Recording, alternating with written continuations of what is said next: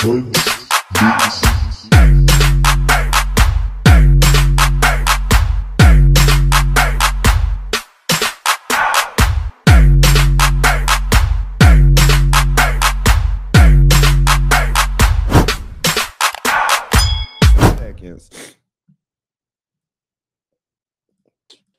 you see me? Ladies and gentlemen, I bring to you the legendary, the incomparable Miki Howard. Hey, Miss Howard. Oh my god! What's going on? Listen, I I am having such a fan moment right now because I was telling uh everybody before you logged on if I had the opportunity right now to interview Cardi B, Nicki Minaj, any of those people, and they said Nicki Minaj, Cardi B, or Miki Howard, who would you choose? And I want you to know I would choose you over any of these new super pop celebrities any day. And here is why. You and your music was just such the soundtrack to my childhood and my teenage years. Like I can just remember being in the car with my mom. We'd be leaving the mall at eight o'clock, and the quiet storm would come on. And it's the next thing I hear, experience is a good teacher. And to be here now, I never thought that I would ever be breathing the same air as you, talking with you, or even having the opportunity to to meet you. So this is an honor, and I want to thank you so much for agreeing to do this interview with us. Well, certainly you have to know that I'm honored. This is so cool. Like, oh wow. and thank you so much. I was so like she said, uh um, your uh, person said, Oh, we want to talk to you. I'm like, talk to me.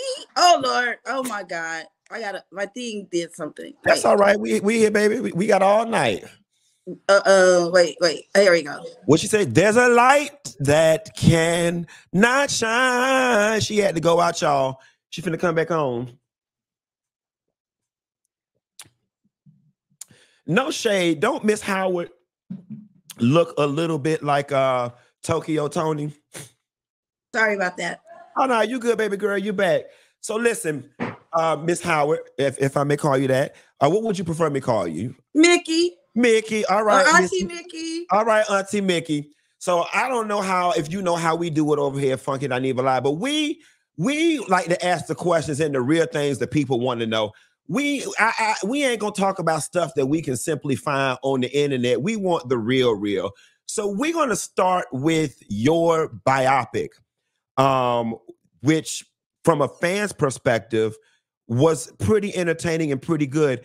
Did you have any hand in the creation, the production, and the development of that film? Oh yeah, I had a lot to do with it. We had a good time. Um, uh, yes, I did. In fact, you can see I'm one of the producers uh, on there.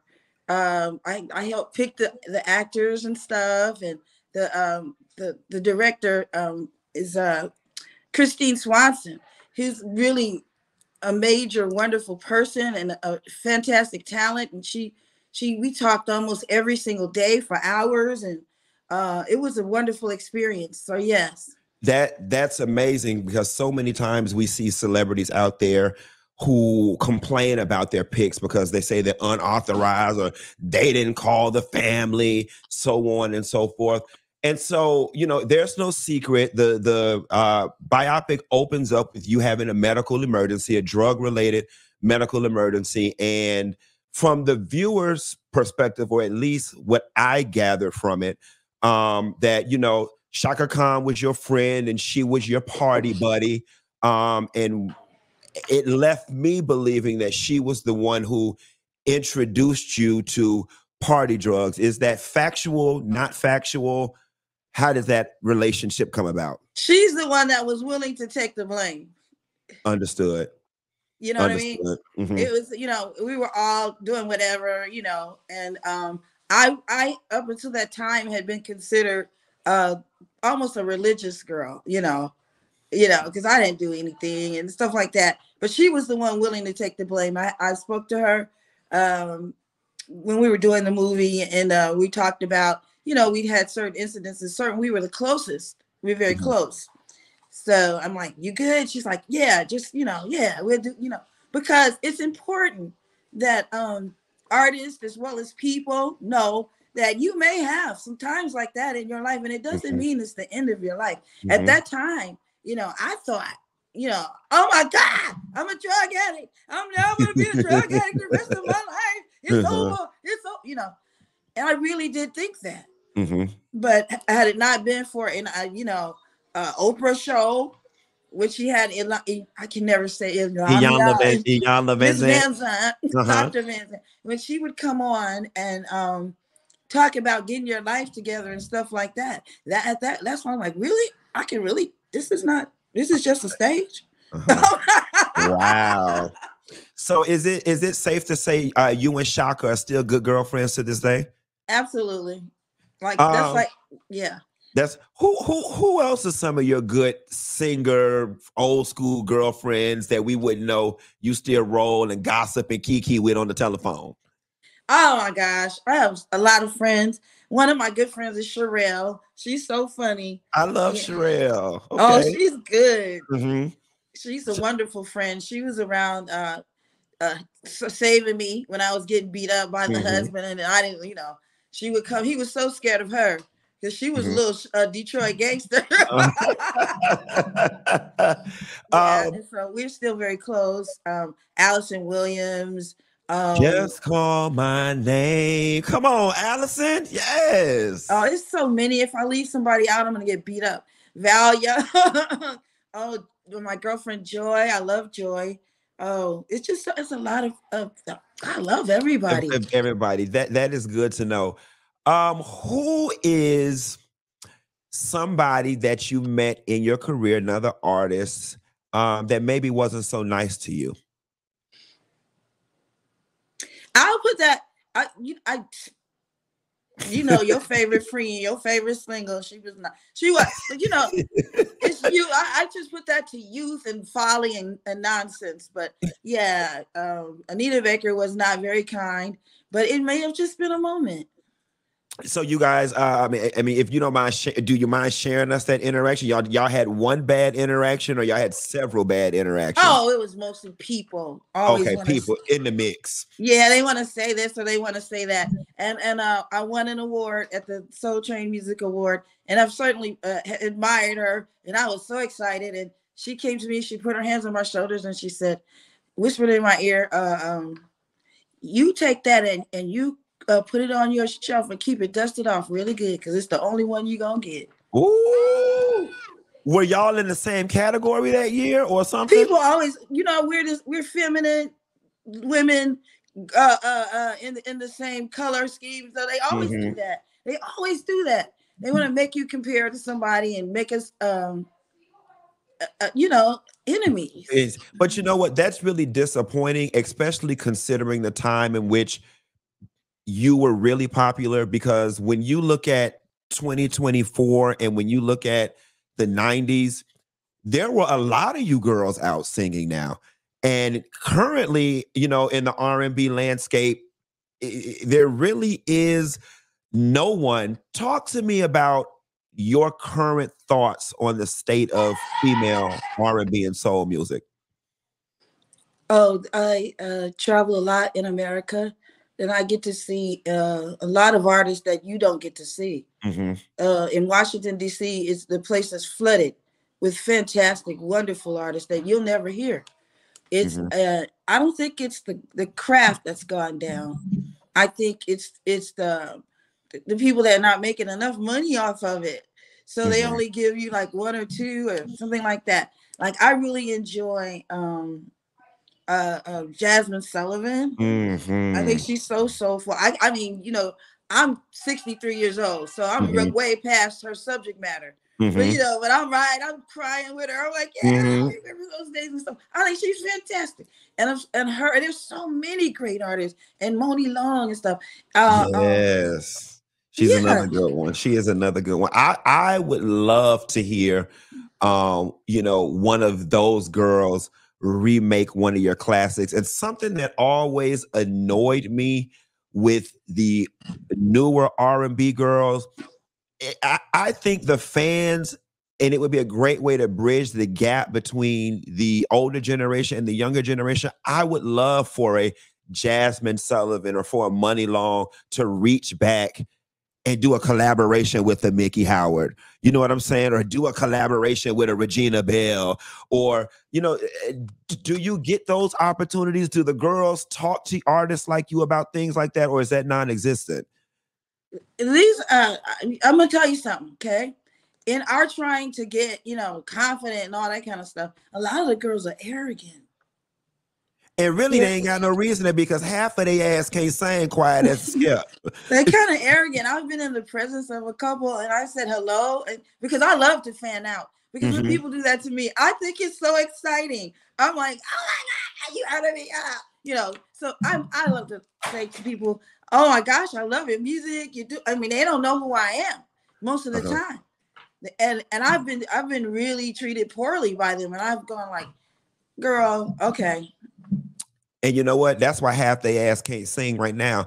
Yeah, it, it, because they don't know who artists like you are, and and I don't know what happened between the '90s and now. I don't know if it was the shift in radio play that a lot of these younger artists coming up. You're absolutely right. They have no idea who um people uh, from your generation are. And that's why a lot of them sound like trash, quiet as it's kept. My words, not yours. I love R&B music, but I'll be the first person to say that this new stuff that they got out on the radio, it just doesn't move me. It I want to say something to that. Mm-hmm.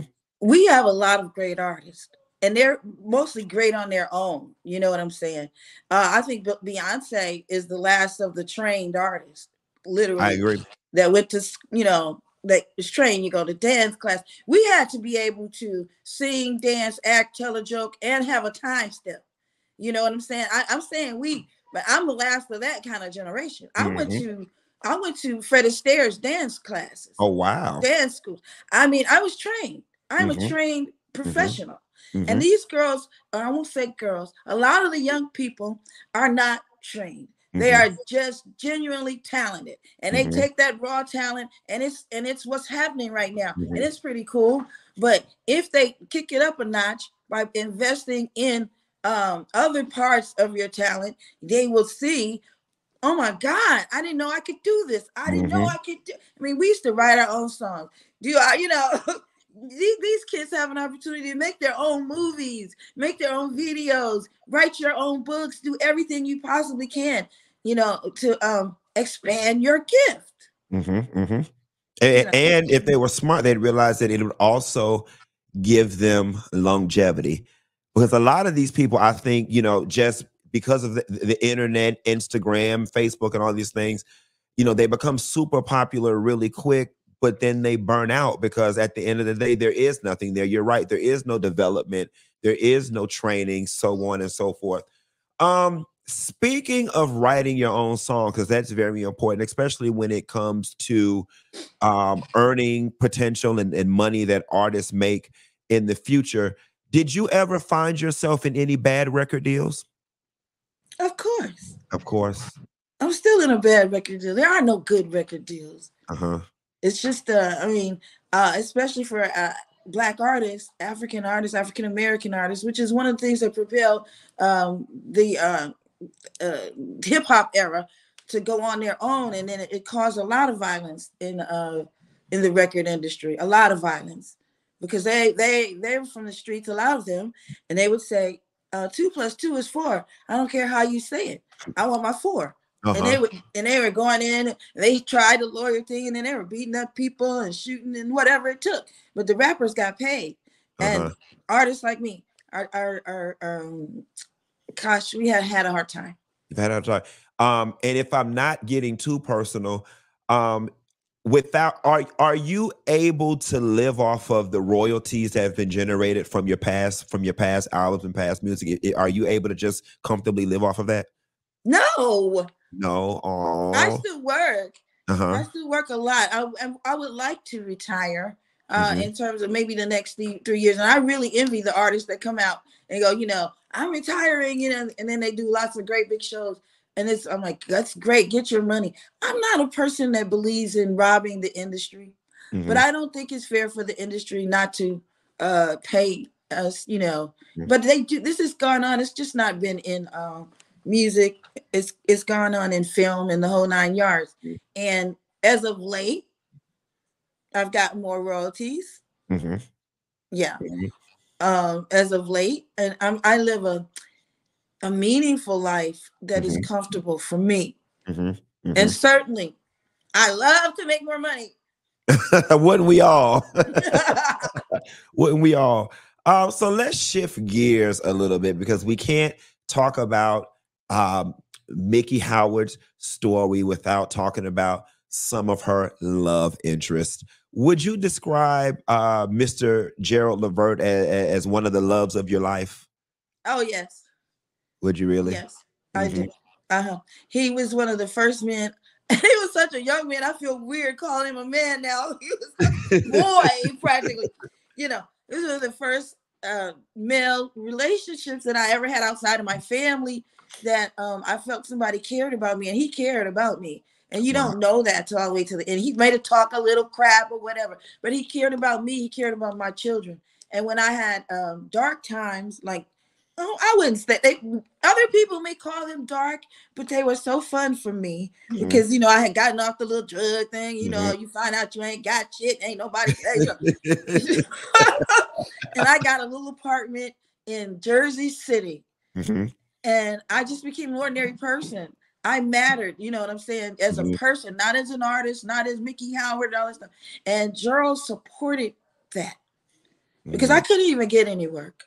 I mean, mm-hmm you know, I, I, went to Russia a couple times. Isn't that weird, right? Did you, ever go to all, Russia? all the places in the mm-hmm. world, Russia. Russia calls, you know, and it and it was just amazing. Just other things happened in my life that took me away, say, from the mainstream or whatever, and I couldn't really be suffering over the fact that oh, I'm not doing this or that. I had a great time, and he facilitated that.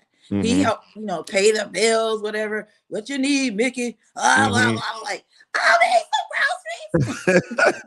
That's amazing. Now I'm finna be a little messy right now, Miki. Was there any overlap in your interactions with Gerald Levert and Kandi Burruss's interactions with Gerald Levert? Uh-uh. Okay. No, okay. I, I, we um we would work after you know we had relationship and all that kind of stuff. We became extremely close because our children became close. We we came from not having kids at all. He didn't have any, and, and I didn't have a daughter. You know, mm-hmm. I just had two boys. So we come from all the way, my boys being four years old, all the way till you coming way down the line now. Because that's mm-hmm. from 87, and then you start talking about the 90s, okay? Like mid 90s mm-hmm. and late.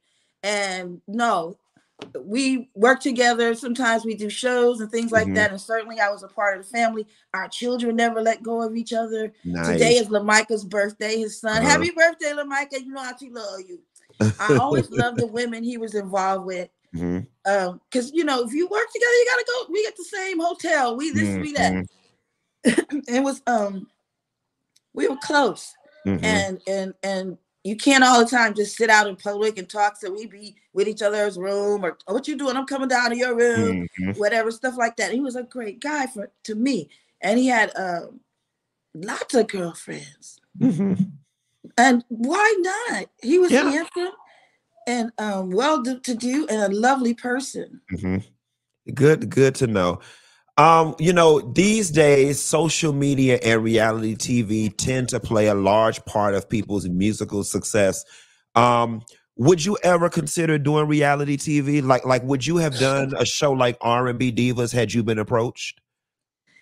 I've been um, contacted a few times, and I've certainly filmed a, uh, you know how they do the little whatever it is, uh huh, uh huh, with um Mona Scott and everything. I oh, just wow. think I'm a good candidate because I'm very like, listen, um, ain't nobody gonna make me do nothing I don't want to do, uh-huh. and I'm not gonna sit up and talk about these women with each other. I grew up, okay, with uh-huh. four sisters. I had four sisters on, on one side of my family, my father, and then I had two on my. I have six sisters. Uh-huh. I had. They're mostly mm-hmm. gone now, and that's another reason why I don't do that to women mm-hmm. or in mm-hmm. general, basically. But I'm not gonna sit up and talk with you and all that kind of stuff. And you're not gonna talk to me crazy all in my face, which they like to try to do. do I don't yeah. have time for that. Uh-huh. I have a granddaughter, 19 years old, about to turn 20. Do I look mm. crazy to you? I have four grandchildren. I have three children. I have a son older than you. Mm-hmm. Okay, mm-hmm. older than you. Mm-hmm. 42 years old. I'm not, mm-hmm. I can't do stuff like that. I um, feel crazy. Yeah. But I wanted to be on there because I thought maybe I had something positive mm-hmm. to give. And then and they see that and they go, I'm not a good candidate because you're not gonna do mm-hmm. it. It's not gonna happen.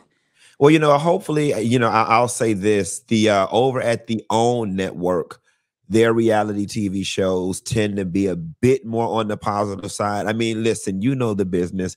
It's got to be a little bit of mess in order to make things sell. Uh, sell. Um, but just from me to you and seeing the personality that you have on social media, I definitely would love to see you in a on a bigger platform in a reality television space. I think that there are so many um especially the younger generation and, and if I could implore you to just reconsider at some point they need you girls. They really do. They they they they they they do. I'll, I'll never forget um queens with cocktails was on, and there's a new artist. I don't know if you know her by the name of, of Queen Naija. She was on, and Syleena Johnson told her to sing. She was like, okay, you're on a talk show now, sing. And she just choked up and got so nervous and just didn't know what to do. And I remember looking at her like, girl, you get one 15 minute slot on a talk show and you are a singer and you're going to blow it and not be able to sing. And when me and Syleena talked offline, you know, we both came to the conclusion that this is why the younger girls need the tutelage from the more seasoned girls like yourself. So I definitely would, uh, Miki, if you get an they opportunity. listen. They don't listen. Y'all need to beat y'all need to beat them up or sit them down or uh, put that good auntie knowledge on them or, or something. But they they need they need trust and believe they need to listen. And it's funny. I'll never forget. I was watching an episode of Video Soul many many years ago with Donnie Simpson, um, and the O'Jays were on there, and Donnie Simpson asked Eddie Levert this question. I was a teenager. I'll never forget it. He said to Eddie Levert, "What advice would you give the younger people coming up behind you?" And Eddie's advice was to study our longevity. He said, I would tell any of the younger artists to study our longevity. And I think that that's what the younger artists need from artists like you who are still around, who are still able to sell concert tickets, who are still, there's a demand for your music. The chat right now is blowing up with people who wanted to come see this interview with Miki Howard. So it's definitely much needed. Uh, but I'm not going to take up too much more of your time, Miki. What do you got going on coming up? Where can we find you? Where can we see you? Are we going to get some new music? Uh, are you going to ever give us another album or has that day coming on? Okay, one thing at a time. I'm going to be in Atlanta uh, on April 18th and 19th at the City Winery. Mm-hmm. I usually perform at the City Wine, different ones around a lot. Um, look for me wherever, you never know, but uh-huh. um, I'm definitely going to be there. Um, and do I? I would love to make a record. I've I've been gathering material, but I sure hate to do. You know, they had this thing about songwriters last week. Uh, one of the red, something red, the uh-huh. girl and she was upset about um people taking credit percentages. Yeah, that's been going on for many, many, many, many, many, many, many, many moons. And um it was not necessarily a practice for new artists. Like when I came out with Come Share My Love, right? In 1912. You you could you could write like, you know, I didn't have the right to ask for a percentage of the song. No, because I was a brand new artist and, and these wow. were brand new. But if I had been Aretha Franklin or somebody that was really popping, you know, that's been singing for a long time or doing these records, or Whitney Houston. Right. If she sings your song, you are automatically guaranteed a million seller, basically. It's it's a difference. And they ask for a small percentage is not bad. Mm-hmm. It's not. I never did get to do it, but when they when I got to that level and we talking, I just felt like I didn't need it. It, yeah. it wasn't but in as far as business goes, it's not that unfair. If if if without this voice, your song ain't selling a million, then you should give a piece of your publishing. You know, it, it's it's so funny because I when I was watching her videos, and some of the artists that she called out, I'm like, I, my my school of thought was the same as yours. I'm like, if your song lands in Beyonce's lap and she records it, I mean, girl, you know, eh, 80% of a multi-million seller is better than 0% of a flop. Tell you know me what I'm about it. saying? So my my mind was in the absolute same place, but I, I but but there is an argument to be made too um when I- guess some people feel that they're being greedy. Um I I, I, I don't know. I think it's greedy when you keep selling stuff you don't know nothing about. If you're selling your music, doing your music or whatever, and maybe you do some art or whatever, but when you start selling toenail polish and shit, it ain't no, ain't- don't you have enough? Aren't you making enough? It's ridiculous. I think that part is crazy.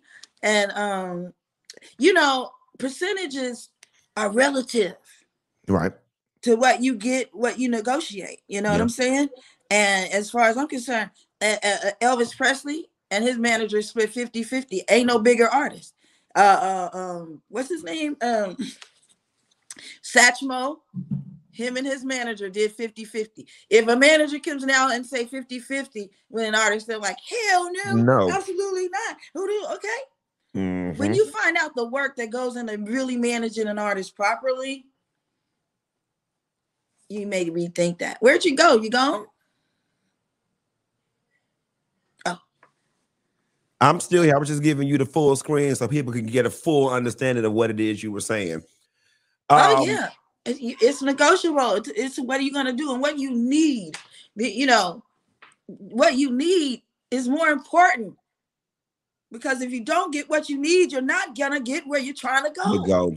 You, you know, it, it's true. I mean, and, and, and there's an argument to be made because listen, um, I, I guess what probably bothers a lot of people probably is the power dynamic aspect of it, right? Because if you walk into a studio and Beyonce's people, I- I- and I don't want to make this about Beyonce, any Right. big artist, any big artist, and they say, you know, we want 20%, are you really going to say no?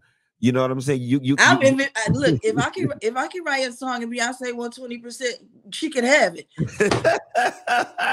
I know that's right. I know that's right. Miki Howard, this has been amazing. This has been I was like, so This is- excited. You know, I love you guys. I love all of y'all. I really do. I'm a Um, podcast junkie. We love you more. And now listen, I I I I know some singers don't like this. Could you give us two bars of something? Maybe I'm in love under new management. Child, I can't halfway sing that song when it's time to sing. I don't feel that. You- You got to give us a bar or something before we get off the line. oh, Something. oh, wait, wait. I'm trying to turn. Let me see. Take your time. Oh, and she played the piano, y'all. Yeah. Let me see.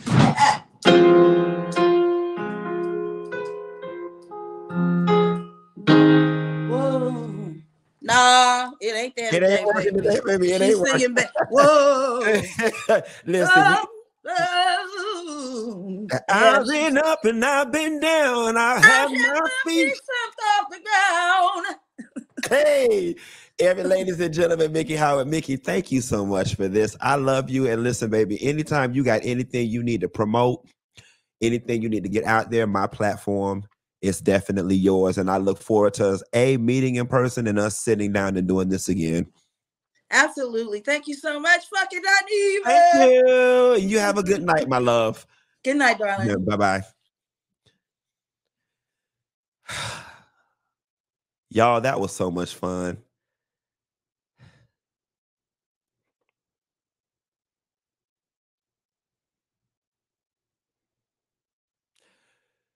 God, thank you for blessing me with the way that I earn a living, being able to do the things that I do, meet people that I never thought I'd meet, have fun, earn a living doing it. I recognize and I do not take for granted that what I do for a living and how I get to move, most people do not. And for that, Father, I thank you. I thank you. I thank you. Y'all don't know what this interview just did for me.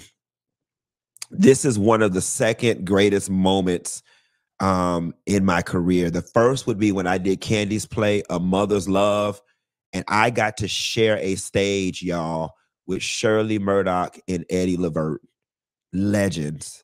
And then now I just had a 30 minute conversation with Miki Howard and the fact that she knew who I was and was enthusiastic to be here. There was SZA did an interview where SZA said she's already won XYZ amount of Grammys that really there's nothing more for her to do. They were asking her, you know, where else are you trying to go in your career or what's next? And she really was like, I mean, you know, I'm content. Um, and I understand that feeling so much. What just happened right now? I don't need no damn Emmy. I don't need no daytime talk show award like that. That shit don't mean nothing to me. I just got through having a conversation with the legendary Miki Howard, y'all, and as much as I knew who she was, she knew who I was. I'm gonna cry when I get off this thing, but I'm not gonna upset my makeup and disturb my tears.